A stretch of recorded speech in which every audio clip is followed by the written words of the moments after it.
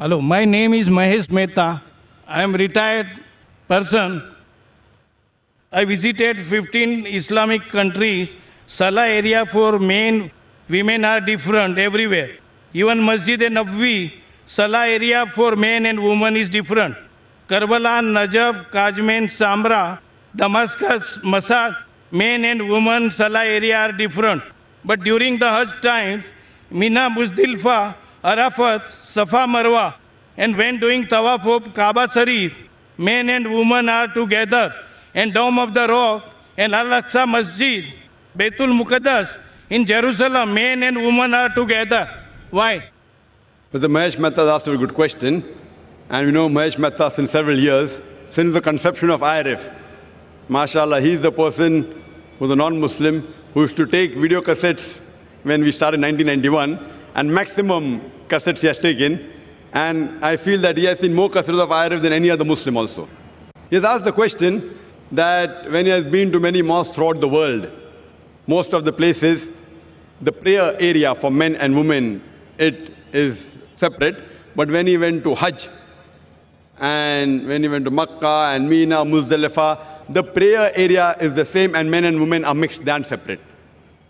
What brother fails to realize that everywhere, even in Makkah and in Muzdalifah and Mina, the prayer area is same.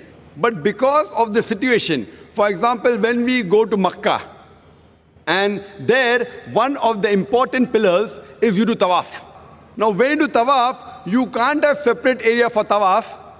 That's the reason while doing tawaf, we can't have separate spaces. But after they finish tawaf, normally men and women have got different designated areas, even in Makkah. But while they are doing tawaf, if the salah time takes place, some women may not reach the designated place. So there are occasions when they stand in areas which are not designated for the women. So because of this, there are occasions when we find, when we see, there may be some women mixed up in the gent area, but ideally, you see, when you come at the rear side, not at the mutaf, at the other part, you find that there's separate designated area for the women and separate for the men. In normal mosques that we have, the entry gates of men and women is separate. In haram, there are separate areas even for women to enter. But because when they go for tawaf, there's bound to be that they mix. But when they pray, they're supposed to be at different areas. But because the time may not permit them to reach the area, there are occasions when you may find that there may be certain mixing on certain areas. Same thing in Mina. Same thing in Muzdalifah.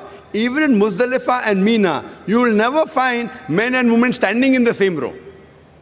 Because they are scattered. It's a very big area. Because they come with their families.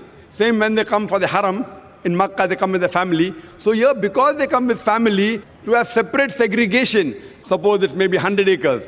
So half for gents, half for ladies, then the family cannot stay together. In all the other mosques, because the mosque is small, you can easily have separate area for salah, separate for entry, separate for exit, and they can meet their family outside. Here, because Muzdalifah, Arafat is hundreds of acres, and the family come together to do Hajj while they stay in Arafat, Mina, Muzdalifah. So at that time, even when they pray, men and women don't stand in the same row. There is separate area, but the areas are scattered. Because of that, it may not look that they are separate. But if you go to Masjid al-Khayf, that's in Mina, or in Arafat, Masjid al-Namra, there, there is separate segregation, just like any other mosque.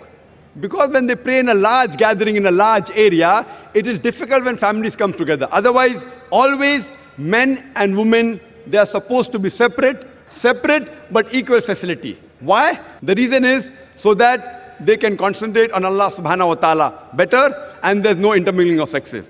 Hope that answers the question, brother.